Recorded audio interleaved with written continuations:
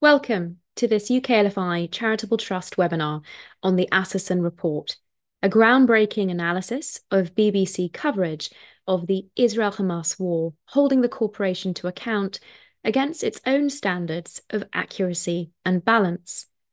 This report is the product of a team of lawyers working together with data scientists. They have used AI to assess the output of the BBC across television, radio, web, and podcasts in the months following the Hamas attack on Israel on the 7th of October last year. The analysis has examined 9 million words produced by the BBC in both its English language and Arabic services, and the findings reveal a deeply worrying pattern of bias and multiple breaches by the BBC of its own guidelines on impartiality, fairness, and establishing the truth. The report runs to 199 pages, and there are a further 190 pages of schedules and further appendices. Now, veteran BBC editor Jeremy Bowen was quick to dismiss it, describing it as a deeply flawed document. Perhaps that speaks volumes.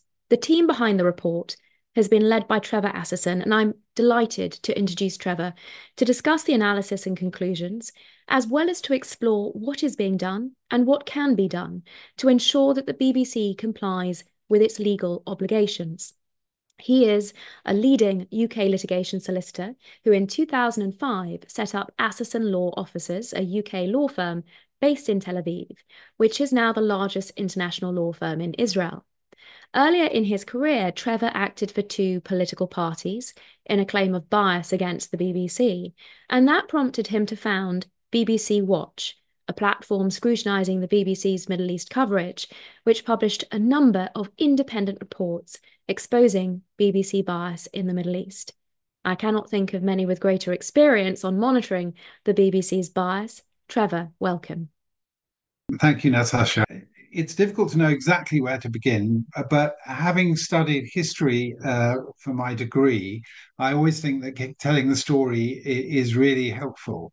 So Natasha explained that when I was a junior lawyer with um, uh, uh, Herbert Smith, I was instructed, I was one of a group of, of people instructed to sue the BBC um, for two political parties. And that's what taught me what the, the way in which you can bring a judicial review against the BBC, which is, I think, the only really safe way of suing them. Um, and then in the second intifada, um, there was a very wide concern uh, about the way in which the BBC was handling the Middle East story. Uh, so I brushed off the the work that I'd done as a young lawyer and um, started to produce reports analysing the BBC coverage in the way in which could have been used as evidence to support a claim. And, and because of that, when this war started, I was approached by a client um, as someone with experience about dealing with the BBC and asked to look into the Al Ahli Hospital uh, debacle, where the um, uh, probably 50 to 100 people were killed in the car park of a hospital by Islamic Jihad. But uh, Israel was alleged by the BBC and other journalists to have dropped a bomb on the hospital itself and killed 500 people, which proved to be untrue. A story the BBC has never actually properly retracted. And looking into that, what emerged was that the only way in which one can properly bring a um, a claim against the BBC for breach of its obligations is by recording what the BBC output was for a sufficiently long time that they can't argue that it isn't representative. And then analyzing that, and if indeed there is an evidence of bias, um, that would that would be the evidence that one could bring to complain. Uh, if it emerged that there wasn't uh, evidence of bias, then of course um, the feelings that members of the Jewish community and others have that the BBC is failing to uh, comply with its obligations could have turned out to be wrong. Uh, so that was the way I started the study. And I didn't realize quite how big it would get. But partway through, after I'd been going for a few weeks, of uh, recording BBC coverage and putting together a team of lawyers to analyze it. I got approached by some Israeli data scientists, and this is where actually the project grew in both scope and shape because this group of data scientists had been looking around for a way of um, uh, getting legal guidance for an experiment experiments they were putting together. And what ended up was one particular scientist, Haran Shani Narkis, an Israeli working in the in the UK, um, he really led the group and he put together a group which included professors at Hebrew U and Bar Ilan and, and many other quite significant um, experts in the field. Ended up with a group of 20 and even more people than that. And what they did was, under a, a, certain amount of legal guidance from myself as to what experiments would or wouldn't be useful, they devised experiments um, and then uh, conducted those experiments and produced the results uh, in what was effectively a completely separate initiative to the legal initiative, which was the classic legal initiative of looking at the material, getting lawyers to read it and assess it. And the way I describe the, the resulting report is that it was something like a um, if you think of the report as being made of concrete, which is quite a solid material, uh, using traditional building materials. And if you remember the, the forum in Rome um, that uh, is partly built of concrete, uh, you know, it's quite an ancient building material. So these techniques are well tested and well tried. What the AI does, what the what the um, data scientists did, was they put metal rods inside the concrete. That is to say, we've produced reinforced concrete. So the report that we've got is the result of two complementary groups of people using complementary skills but different skills, both looking at the same material because we used exactly the same data set and ending up with very similar results, uh, but by different routes. And uh, I, I go into that level of detail to explain that when the BBC, the first thing they did was they looked at it and said, Oh, we've got questions about the methodology. Actually, all they it, it was a bit like saying, "Oh, you know, we we're not sure about this report because it's been typed on something called a typewriter." Um, it, it's it's a ridiculous complaint, um, and and we've never actually yet had what the questions about that methodology are. They haven't been expressed to us. Doubtless they will be in due course. But really, they they did that simply because I think it was a knee jerk reaction it uses AI. AI is newfangled, so let's question the methodology. But actually, you've got some very, very serious, high quality scientists doing their work in, in their style, and you have uh, a series of lawyers who I, I hope are also uh, decent quality doing work in the style that, that we've all, always done. So that's how the report came to be written, but it's how it also came to be a much larger piece of work than I had anticipated. What we what we did was we we decided that we we would record all of the main the principal news outlooks uh, out, output for um, various uh, for, for, radio, television, um, web the website, and also in Arabic, and we would transcribe all the oral uh, work so that we could read it all, and also that, so that we could search all of the material.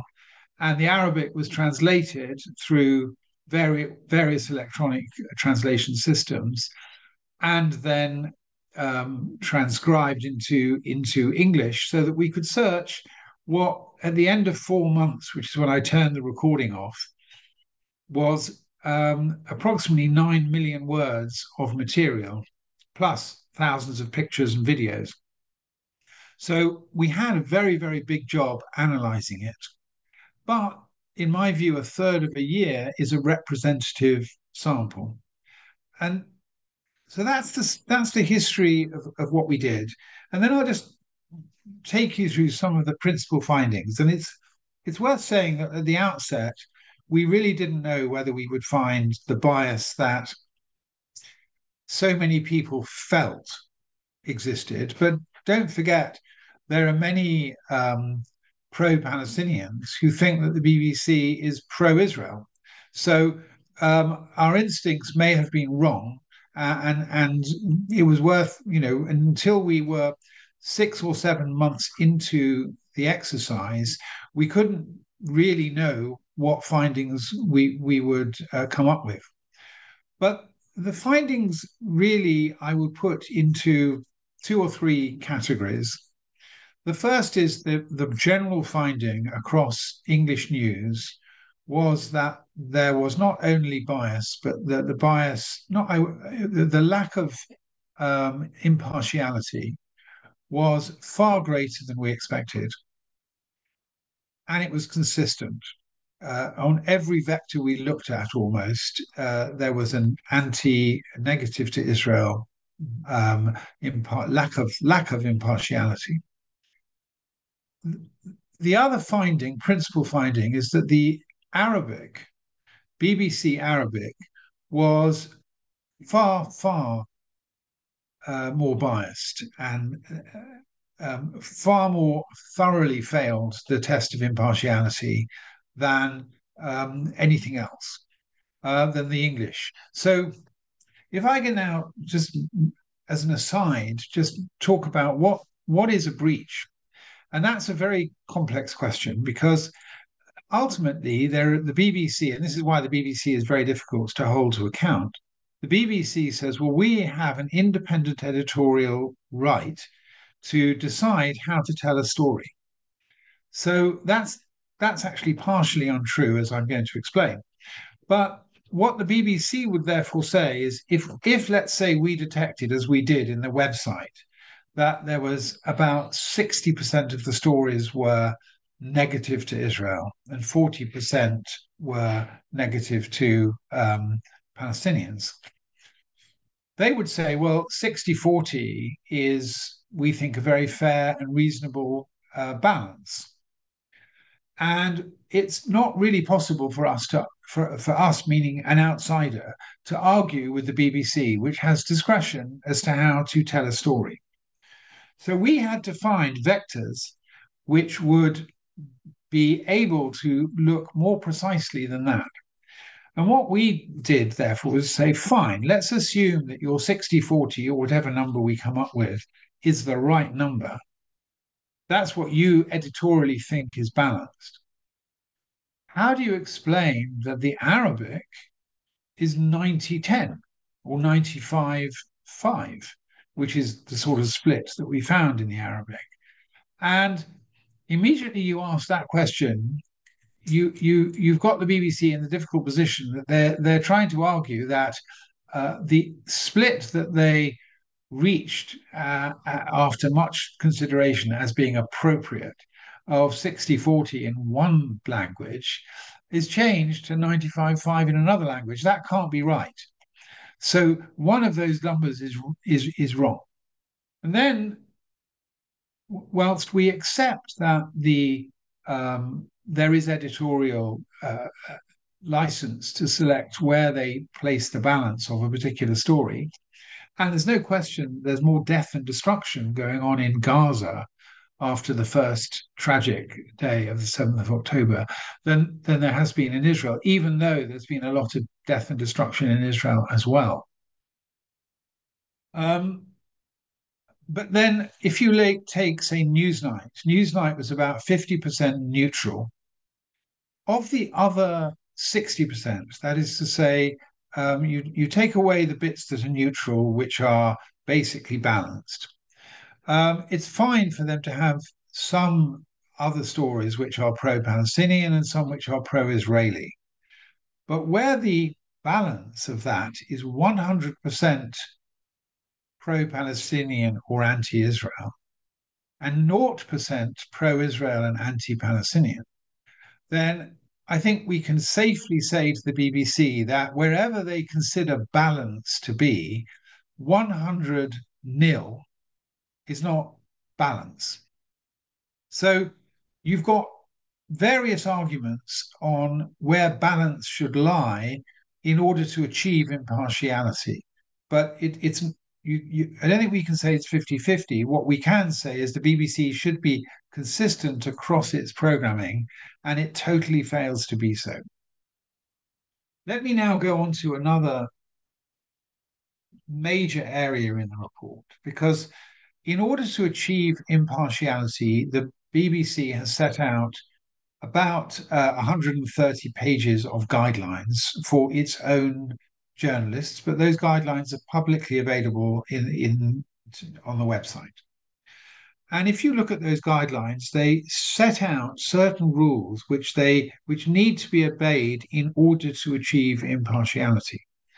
And one of those is that no significant storyline will be underreported or omitted.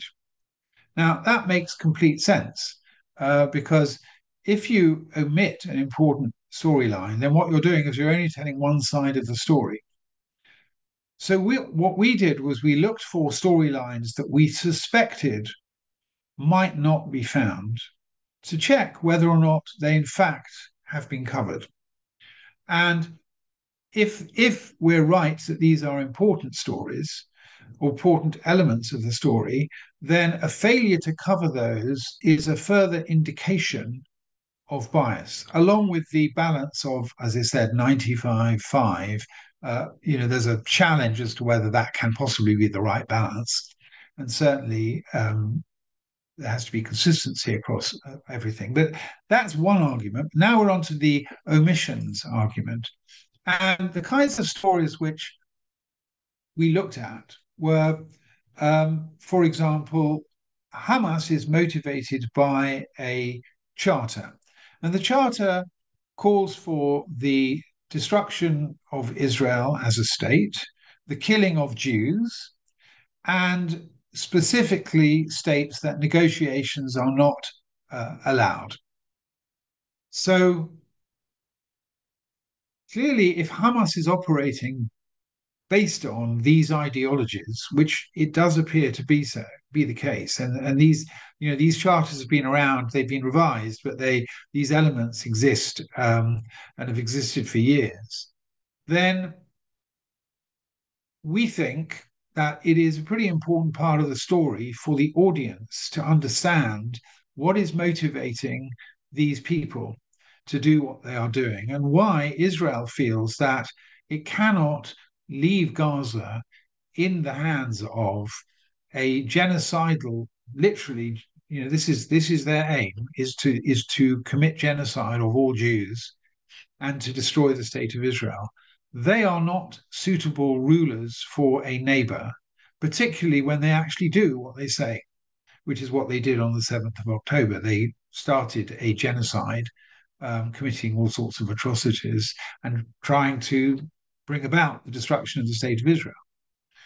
Um, now, the fact that there is um, such a charter was barely mentioned by the BBC at all. It was mentioned about, I forget the number, nine or 12 times by in passing by people that were being interviewed, but essentially never mentioned by the BBC in its own editorial, in its own journalists explaining this fact to the audience. So the audience are left utterly ignorant of, of this fact. Another fact which it seemed to us is an important element in the story is that about 200,000 Israelis have lost their homes and been forced to flee because they are being targeted by missiles from the north and the south. And that includes large swathes of Israeli territory, which are effectively uninhabitable by um, civilians, and where civilians have been uh, and are being killed. Now, uh, astonishingly, in four months, which is a third of a year, um, the BBC only had one article on that topic, and that one article was told in a way that was negative towards Israel, which was extraordinary. I've asked audiences in many um, different places if anybody can think of a way in which you could tell that particular story in a way that's negative about Israel. Um, I'll leave you thinking about that. And um, if someone asks the question later when we get to questions and answers, I'll give you an answer. Uh, so essentially, that story was not told. The story of the disruption caused to Israeli society by the war, uh, massive financial strain, destruction of businesses, um, 400,000, uh, three to 400,000 Milawimnikim people being called up for reserve duty who are um, very, very largely uh, men, uh, married men with jobs uh, and with wives and children, um, all of whom have rendered their wives effectively single parents for the duration of their their, service, are having their wives and children living in and, and parents living under the terrible strain of knowing that they're literally facing uh, the danger of being killed or maimed. Uh, many hundreds have been killed, and and um, I think into the thousands have been maimed. People who've lost an arm or a leg or an eye. Um, you know, my my children who are uh, of an age of, of Milawimnikim are, are of people running doing service all now have friends who have lost a limb and will know people, as we know, uh, people who have been killed. Uh, and the disruption, imagine you're running a business and all of your staff below the age of 40 have been called up. Um, that's massively disruptive to businesses. Small businesses, it could be 100% of the staff have gone, which means it kills the business. Um, these are all huge disruptions, huge distresses, huge um, difficulties which Israel is facing in a war in which it has zero territorial aims. These are wars not of its choosing, which are entirely brought about really by the aggressive genocidal uh, views of the Iranian state, um, Hezbollah, and, and Hamas. And these stories aren't told at all by the BBC. They are barely touched upon in four months. We couldn't find, we searched all of the material um, and were unable to find any uh, analysis of this uh, at all. So these omissions simply by failing to tell the story, are a further example of where the BBC is breaching its own guidelines, and those guidelines are designed to enable it to achieve um, an impartial account. So they're failing. And I'll, I'll, give one third example of a sort of set of rules which uh, they break. Uh, and then I'll uh, probably stop and, and, and, leave it open to uh, questions because there, there's plenty more to talk about remedies and and why it's happening and and and, and so on. Which uh, I did dare say people will ask me those questions, and I'll reserve that. But the third area that we looked at is um, what other rules are they are they breaking? And I'll, I'll just mention two. One is that they should always tell the audience if they're reporting from an area where there are reporting restrictions. Now, that means that if they're reporting something like the number of people that have died from sources within the um, Gaza, where we know that Hamas strictly controls every word that is expressed by journalists, and they do that in with with a certain degree of force and cruelty uh, where people say things that they shouldn't. That needs to be said every single time that they report from somebody in Gaza.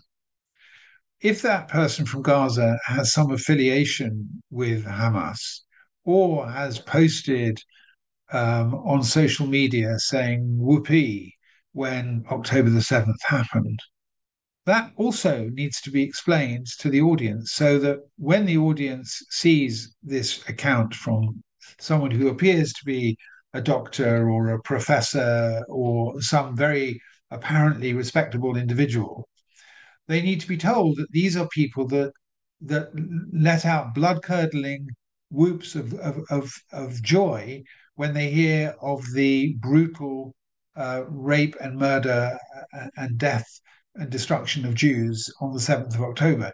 These are people that love that. And once you know that, then it does change your perception. There's also a question as to whether or not they should be giving a platform to people who support terrorism at all. But that's another question. And then the, my final point, really, uh, and then I'll hand it over back to Natasha for for questions, is expressing a personal view. It's an absolutely forbidden rule. Um, that it's it's a very clear rule that the, that journalists should not express their own personal opinions. So we looked at one particular journalist, um, Jeremy Bowen. We chose him because um, the perception that we have is that he has got a pretty negative attitude towards Israel. Uh, we wanted to test that. And so we looked not only actually at what he says on stage, but what he says off stage. In other words, in his book, to which he will occasionally um, uh, recommend his audience, the, the, the, making of the modern Middle East. So we did a deep analysis of, of, of what he says in that book, in which he expresses very, very clear opinions in a very biased way. And then looked at what he has recorded on his own podcasts and what he's recorded elsewhere. So we looked at all of his output in that four month period and showed how time and time and time again, amongst other things, he breaks this rule and expresses a very clear personal opinion. Uh, and that is exactly what he should not be doing uh, as a BBC journalist uh, in order to enable the BBC to achieve impartiality, which they are, of course, failing to achieve. So that's a very brief, probably not brief enough, summary of what the content of the findings are. And uh, I'll stop here, draw breath, and, and see if there are any questions. Well, Trevor, thank you very much indeed. I know we'll also be circulating the report uh, to everyone who's registered for the webinar uh, so that they can uh, go through the detail of what you've described. Um, no doubt, well, there is little doubt perhaps then as to uh, Jeremy Bowen's motivation for calling this document deeply flawed in light of the, the last point that you raised. Um, but on the individuals themselves, I wondered if I might be able to just drill down on the last issue that you were raising on affiliations or sympathies, um, because there is a very recent story uh, which I've seen in the Jewish Chronicle with respect to Saeed Mohammed Marandi, who is this uh, supposed uh, academic professor from um, uh, an Iranian university who has been commenting frequently now on the uh, BBC uh, without any reference to his boasting about the time that he spent in the IRGC, um, prescribed terrorist organization by by by some states. Um, what do you make of the manner in which commentators have been brought in, in addition to the coverage, or is this something that you've considered with respect to the report? What what we did, um, and this perhaps might show a, a natural suspicion or bias by us, we decided to look at the Arabic speakers um, who were either commentators or journalists. Uh, and that included Miranda, um, Professor Miranda, who's, I think, an English literature professor in, in Iran. Um, and we we we managed to get some Arab speakers, Arabic speakers, to look at about 150 or 200 names out of about 450 names that we identified as Arabic speakers. They were Arabic speakers who were interviewed either in Arabic or in English, but Arabic was their native tongue. And the reason we chose them was we we assumed that they would be um, subject to less scrutiny by English speakers than, say, people who are uh, posting in English, and so that they would be able to get away with um, presenting uh, more outrageous people uh, th- than they could perhaps uh, in, in, English. And we got people, Arab, Arabic speakers, to look at their social media posts, to look at other public things they published, and to try and identify people. We identified close to 30% of that particular group, of the ones we were able to look at, as having expressed great joy on um, on the 7th of October and also on another date in in um, a, about a year earlier when there was an atrocious attack and terrorists uh, killed uh, many Israelis, a few Israelis. Again, that was a date on which all these people expressed very clear um, joy at what had happened, and the, these these kinds of postings ought to disqualify them, or at the very least, the BBC has an obligation to say who they are and fails to do so. Trevor, there's an avalanche of questions in the Q&A facility, but just before we move on to them, that there is one other matter I want to drill down on, and it is to do with the motivation or the explanation behind all of this. You mentioned the Al Ahli Hospital incident. Um, yeah. I believe this was very early on, on the on the 17th of October. Um, I have a personal story connected to that because I was actually waiting on the line to be interviewed by the yeah. BBC um, as this story was breaking. And I received a call from the deputy editor of the channel who said that they were going to have to bump me to run with this rolling coverage. And I used the opportunity to challenge what it was that I was seeing in real time. So there's the complaints process, and you've spoken in the past about the difficulties uh, with that, and certainly the BBC's line that it should have discretion on how to tell a story. There's nuance attached to that. And um, so far as I see what played out on that occasion, there was no nuance. Um, what was being reported was uh, ultimately false. But even in the context of the fog of war, the conclusions that were being jumped to were inexplicable. Where there were already reports online that this could have been a Palestinian Islamic Jihad rocket, which is what ultimately turned out to be the case. When uh, the rate of rockets from Hamas and PIJ that fall short in the Gaza Strip is so significant. And when we consider that the hospital itself was intact, you've spoken about reporting from Gaza, and it's clear that the BBC has relied on stringers uh, from the Gaza Strip uh, for the last 12 months. Why on earth couldn't they have sent someone down to walk down the street and check what the situation at the hospital was? They would have seen that it was intact. Um, on the basis of everything that you've looked at, is there any explanation that you can um, offer for the uh, abject failure of responsible journalism on that occasion and all the others that you've highlighted? Um, you, you, the last bit of your question goes to motive, but let me uh, raise something else. The BBC guidelines specifically state where there is a very important story and where there is um, a story which is controversial, these are two words which get defined in the guidelines. And the killing of 500 people in a hospital um, as the is, as the, as the U.S. president is is flying into Israel in order to try and um, start patching things up is pretty controversial and pretty important. It certainly fulfills those requirements. Under those circumstances, the, the guidelines specifically say slow down and double check your story, even if that means you don't get your story out quite as quickly as other people who are less professional journalists than you. What the BBC does, and this is clearly motivated partly at least by a, a, a desire I think, to keep the ratings.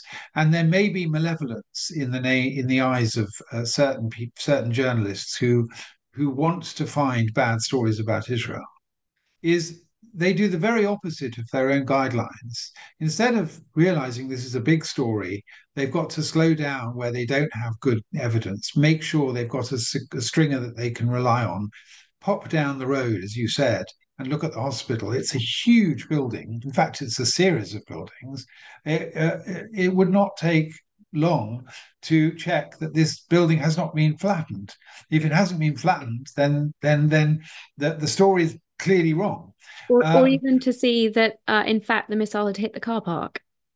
Yes, and the, the, the missile hit the car park, and, and, and everything about the story was upside down and wrong.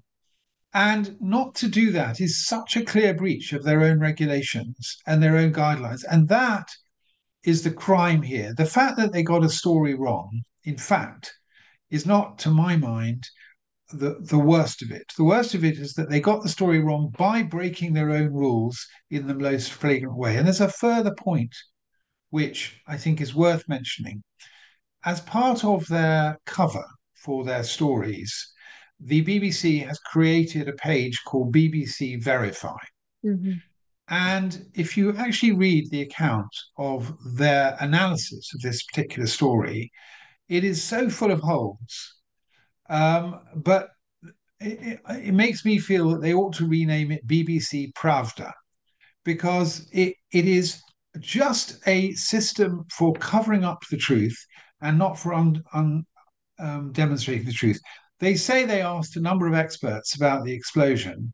They give the results of two or three of those experts who make it pretty clear it couldn't have been an Israeli missile. And they don't give the results of the other experts they asked, who presumably said it was without doubt not an Israeli missile. Everyone else in the world has accepted that that, that it was a, a Palestinian missile. The BBC's BBC Verify when I last looked, which was months after the event, and then they, I don't know if they've changed it since, said, "Oh, in the fog of war, it's all too difficult to tell. It'll be one of the mysteries that never gets uh, resolved."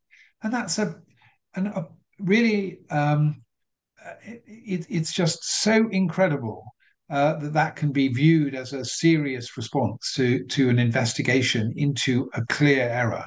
Uh, that, as I said, it, it, it, undermines the validity of BBC Verify as an organisation, as a part of the BBC.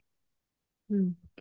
Um, Trevor, there are a few questions here that have been advanced about the Balen report. Um, perhaps you could explain to our audience, I have to say, record numbers uh, who've uh, joined us for this webinar. Um, perhaps you could explain what the Balen report in 2004 was and, and yeah. to what extent it's impacted your approach and research here.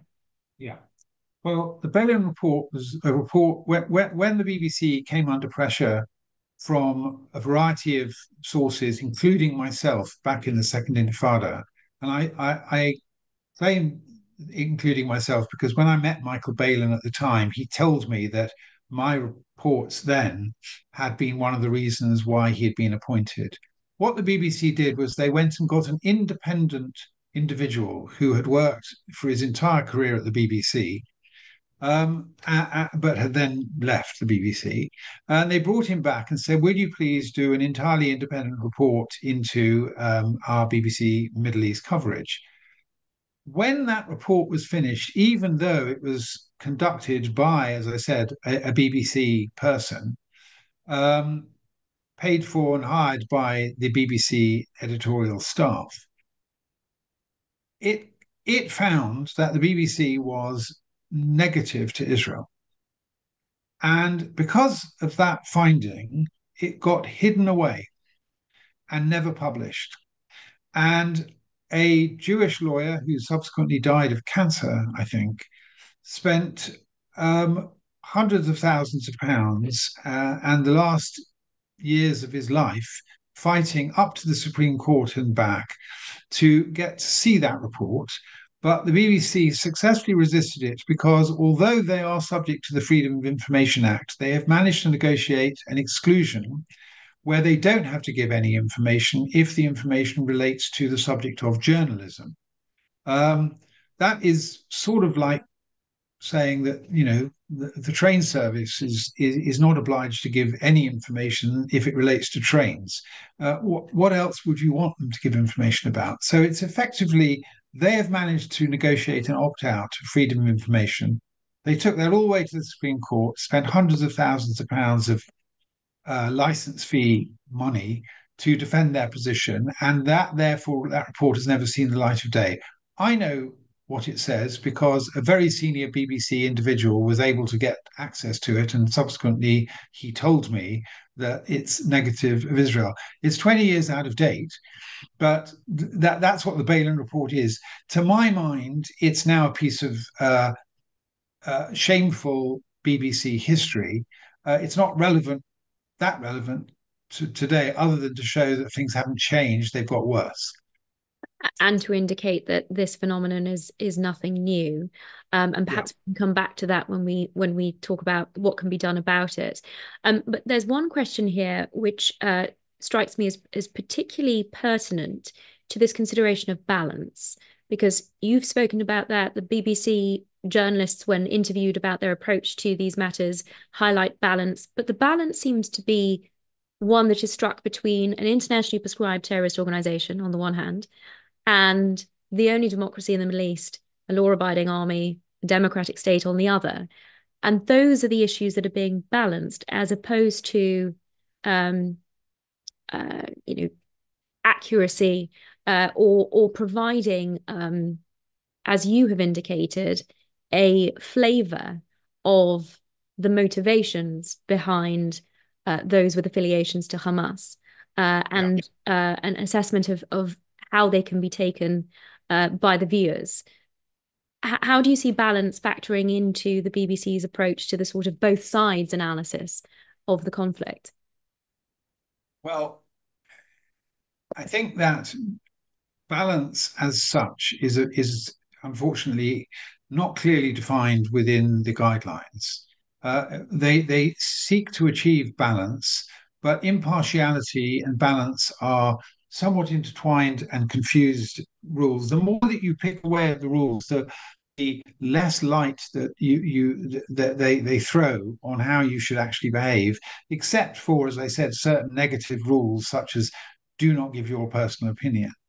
What what what I can tell you balance is not is um, that that they have to be 50-50 on every story. But I think the point that perhaps is the best way of illustrating what I'm saying and what I think you're getting at is at, at a certain point in the guidelines, the guidelines say that um, the obligation to be neutral or balanced should not it does not mean that we have to be neutral on all issues because in particular we should not depart from an attachment to democratic values.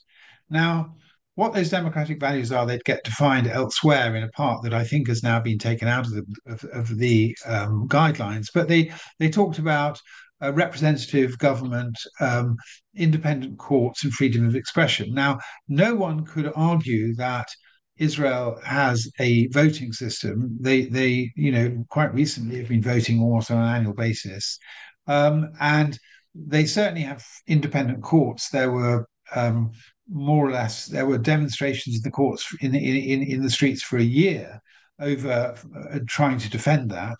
Um, and um, freedom of information free, free, freedom of expression was shown by those demonstrations as well as by anyone looking at the uh, israeli press which stretches from the far left to the far right. Uh, so israel clearly exhibit, exhibits all of these qualities and hamas exhibits none of them it, it, it, it's clearly not representative. It clearly, I don't think it's got a, a, court system at all that I'm aware of, certainly not independent of Hamas, um, and no freedom of expression. It comes very low down on any any indices of that. So, on the basis of the guidelines, the BBC ought, in my view, to interpret its own guidelines to say, well, we will exercise our lack of neutrality by saying our default position is to believe Israel and to disbelieve Hamas. That should be, according to their guidelines, their default. They actually, I think, do exactly the opposite.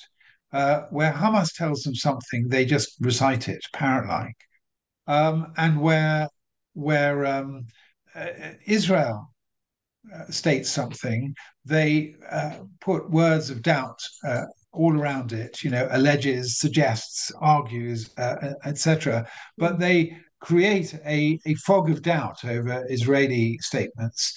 Uh, it should be the other way around. Uh, and that's a, a, further breach, which I believe runs throughout their broadcasting. In that context, may I ask you specifically about the casualty figures? Because we've had a lot of questions on that. What was your approach in the report to, to those? And I know there's cooperation with UKLFI on that front. Well, it, it, it's it, it's uh, a great pleasure to be able to give credit where the credit is due here. Um, I I was aware of the UKLFI very deep dive analysis into the uh, into the casualty figures, and um, UKLFI was kind enough to allow me to reproduce their the results of their work. and I satisfied myself almost exclusively by reproducing their work in relation to that analysis. But I did add a little bit of commentary from from myself, which I don't think uh, in any way um, uh, disagrees with, but merely just just probably echoes the points that UKLFI has previously made. Which is to say that the figures that are put out by the BBC are, I think, as close to dishonest as you can get. That is to say, they know that the figures reported by Hamas are not true. They don't know what the true figures are, but they do know that those figures are not true. To give just one simple example, they include the 500 people that were not killed at Al Ahli Hospital. Um, if there were 100 people that were killed, or 50, we don't know the exact number, then they do include that 100 people. They also include the other 400 people that didn't get killed but they're all part of the casualty figures that are presented as though they've been killed by Israel. They know from independent studies by professors, which were analysed and looked at by by UKLFI, um, uh, which I've some of which I've I've read through, but not with the precision that they have. That the figures um, cannot be true statistically because on days when they want to change the numbers um, so that they can always keep the, the majority women and children, they just suddenly have 250 children die um, on a on a Tuesday, but no men or women in the same day. Which normally there would be a, a, relationship between the number of women and the number of children dying, but that relationship breaks down in the figures produced by Hamas.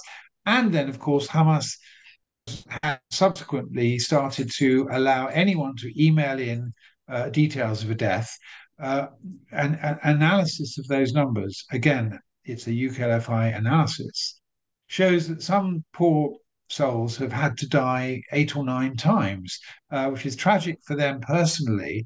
But you do, you know you only have to read the list to see that it's complete nonsense, and it's therefore totally dishonest of the BBC to present that those numbers, and of course, not dividing between combatants and, and, and, and civilians, and to make no comment as to the clear inaccuracy and, and, and, and in places dishonesty of those numbers. And that they've, the BBC has made this a story of how many ca- civilian casualties have there been? Can that be reasonable? That's their story for the whole year. And they've done it based upon false, knowably false, dishonest numbers. Trevor, we've we're going to have to have you back because we've had so many questions on specifics that I desperately wanted to put to you. We're not going to have time for those, and my apologies. Uh, that there really has been an avalanche. Um, I want to leave as much time as possible to talk about where we go from here and what the remedies are. Um, but just before we do that, can you speak to what effect this report has had? Lots of people concerned it might be going down the route of the Balen report. Obviously, it's had fantastic publicity. Um, it was followed by a separate report um, authored by Danny Cohen and Ruth Deech. Um, so there's been a great deal of discussion about both. What have you seen the effect so far? Um, it has had more uh, a slightly more positive effect than the Balen report because the Balen report's not been read by anybody. In my report, I say my report, I mean the report, which includes, of course, Haran Shani Narkis's work uh, and the data scientists and, and the legal team that I worked with, um, has, has been read and is being read. I think that it, I don't believe that um, it took nine months to put together um, of almost you know my only work during that period. Uh, I don't think that as thorough uh, an analysis of BBC output has been produced ever that, I, that I'm aware of. I mean, there may be, but I'm I've never seen it. Um, so I think that its its impact has been quite widespread. I've had comments from all, all Jewish communities around the globe some of whom have reached out to me. I was uh, spent an hour this morning talking to a, a, group within a European country asking for assistance in running um, a similar analysis against their own broadcaster. Um, uh, so, you know, I think that that's it's having that impact. I think it's drawn a line in the sand, and in it it's thrown in a fairly solid piece of evidence that will last the, the, some time for anyone who wants to say, as people have said, you know, the last government, that occasionally people would stand up in the House of Commons and say the BBC is biased. And the, the, the riposte would be, well, where's your evidence? Well, today people have a solid answer to that. Yeah. Um, and, and, so it, it, it in the debate as to whether or not the BBC is really able to produce impar- impartial news, I think this is a a solid piece of, of, of argument that can be brought against them. It undermines their brand. It undermines their own claims. So it has a certain um, life uh, beyond that, but in the long run, it will get worn down over time if it if further further consequences do not follow from the report, and that's a a more complicated uh, answer to a question you haven't asked. Well, I, I look forward to asking that just after addressing um, we have quite an international audience so not many may uh, of of our uh, foreign friends may be aware that of course the BBC is financed through the license fee which is mandatory for anyone that owns a television set or in fact that watches um, BBC coverage via a computer um, so quite a few people have been venting their frustrations about having to pay the license fee despite everything that you have said today uh, and ask what uh, what the possible alternatives might be for that. Well um, there, there is a long history of people not paying their license fee. As a an English solicitor with an obligations as an officer to the court, uh, I couldn't possibly recommend to anybody that they should disobey the law. Um, I I haven't looked into it, but I think it may be a criminal offence not to pay your license fee. Um, uh, uh, and uh, one of the people that I've met in recent weeks, uh, around the time of the launch, told me with great joy how they in they have never paid the license fee and told me they've analysed uh, and that the BBC doesn't have the technology to detect who does and doesn't pay the license fee, and therefore uh, believes that they can get away with it. Um, My sense I is have... that the questioners were, were more um, after a, a, point of principle. Is there any particular challenge open to them, given that they are required to fund the bias that you've set out? Until such time as there is a an amend an, an, a change in the law, I don't think that you have an alternative other than to obey the law and to pay the license fee. And that's where the mischief lies because the BBC is watched by fewer and fewer people uh, as, as a main news source because news source comes from so many other places nowadays. And the only really good excuse for the BBC to exist as a public sector broadcaster, in my view, um, is that they are a source of impartial news where everyone else is able to produce their own bias. You wouldn't go to the Telegraph um, or the Guardian and expect not to find a somewhat left-leaning or somewhat right-leaning um, response, and you can't be you can't complain about that. Mm. Um, but if you go to the BBC, you expect to be getting the truth or close to the truth. Uh, and of course, if they're completely unable to perform that prime function, one has to ask the question are they any longer, is there any longer a reason for them to take four billion pounds from the uh, public uh, in order to be able to have the privilege of putting out their particular point of view on any subject? Because, by the way, and, and this is a, a question I hope that I'll be able to give the answer to uh, if you ask me the right question. But I want to go into why this is happening, and and essentially, if it is not cured or it's incurable, then what is the point of paying four billion pounds for a particular uh, opinion on any different issue? I'm quite sure if you were to do this analysis on the Russia-Ukraine war, on the the American elections, on whether or not um, independent schools should be um, uh, uh, uh, uh tax free or, or, or be charities, on any important topic that exists within um, the UK for discussion, the BBC is probably not giving you anything close to an impartial view. Why not? Well, why indeed? Um, may I wrap up uh, in the final few minutes uh, a number of questions, um, including where do we go from here? What are the remedies? Um, how can we deal with the situation that you have set out, given uh, you're alluding to um, motivation?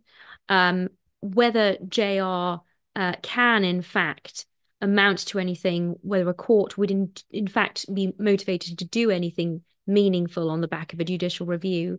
And connected to that and apologies i'm trying to get them all in are there any rules for correcting misleading information speedily? So could you perhaps deal with that as well as the, the you know the bbc complaints process we've covered previously in in webinars with jonathan turner. Um, but are there any speedy mechanisms for correcting misleading information and where do we go from here in terms of judicial review or other challenges? Okay. Well, I'm, I'm going to start trying to answer that question by making one fundamental point that I haven't made yet, which I think is the most shocking finding of all. Uh, I was able to ask former and existing and present very senior, middling, and junior um, people who've worked in the BBC, and they all told me the same thing, which is that there is no proper management control at all. So I know how many people were interviewed by the BBC who are um, pro Israeli and how many are pro Palestinian. The BBC doesn't know that information because they don't monitor it. I know how many programs they made which were moving left or right. The BBC doesn't know because it doesn't monitor that. They don't monitor what their journalists do or say. So they can't tell whether a journalist has disobeyed the rules or is obeying them scrupulously. And therefore, they can't reprimand those journalists. And even the BBC itself has, when it's commissioned reports in the past, has noticed that there is essentially no proper management control. This is a vehicle, it's a four billion pound business, actually more, which has no proper management. That is the scandal, in my view, at the absolute foundation as to what's going wrong. If you don't have management control, then um, you cannot produce the kind of uh, product that you promised to produce. That that that is at the foundation. So then, where do you go from here? Well, there are various options. One of the options, which I, I, I fear some leaders of the Jewish community have put their faith in in the past and um, have always been disappointed, which is the fireside chat between um, the leaders of the BBC and the leaders of the Jewish community. And those fireside chats, I'm afraid, call me a cynic, but I have very little doubt that they can produce results. And one of the reasons they can't results uh, produce results is, as I think it was uh, I think it was FDR, one of the American presidents, said, speak quietly, but carry a big stick. And when the leaders of the Jewish community go in to sit in the comfortable sofas uh, of the drawing room of Samir Shah or Tim Davie, they don't have a stick. They don't even have a small stick. Um, and therefore, the BBC, even if those senior people would like to affect change, they've got to move a mountain of journalists who are looking the other way. And they won't be able to do it. They couldn't even get rid of um, uh, a football commentator, Gary Lineker, um, when he clearly broke broke BBC rules, absolutely clearly. Uh, uh, what they did was they changed the rules. Uh, so the the I think the fireside chats won't work um, if they're tried. And I also think, because I, I, know that they've been initiated as a result of my report, there's been a petition in the House of Lords for an inquiry, and there's been comments that, that it needs to go before the Ministry of the minutes the Committee of, of, of Media, Culture and Sport. It will possibly get onto that agenda, but I'm equally assured, assured by parliamentarians that those initiatives will um, disappear uh, into nothingness because there isn't a, a, a, labor a labor majority that wants to push these ideas through. So um, the only power in the land which has the ability to effect some change is the courts, and whether one can put together a case strong enough to demonstrate uh, that there is actually a, a, judicially reviewable failure here, which I believe that there there has been, um, then the courts could step in and um, if they could point to the management failure, which I think is absolutely at the core of this, um, then that is that is the potential way forward, and and e- even down to the individual journalist. If an individual journalist is not being monitored and therefore not being told off um, for misbehaving, then they're going to carry on doing it. And in fact, they think they're doing a good job. I think that if a journalist is consistently unable to obey the rules, then they should be put somewhere less harmful, like Gardeners' Question Time. And you know, there they can carry on reporting, uh, but they don't need to report in an area that's important, controversial, where the rules uh, particularly uh, are particularly should be particularly strictly applied. Uh, in terms of whether there's a quick way, I'm afraid I don't know of one.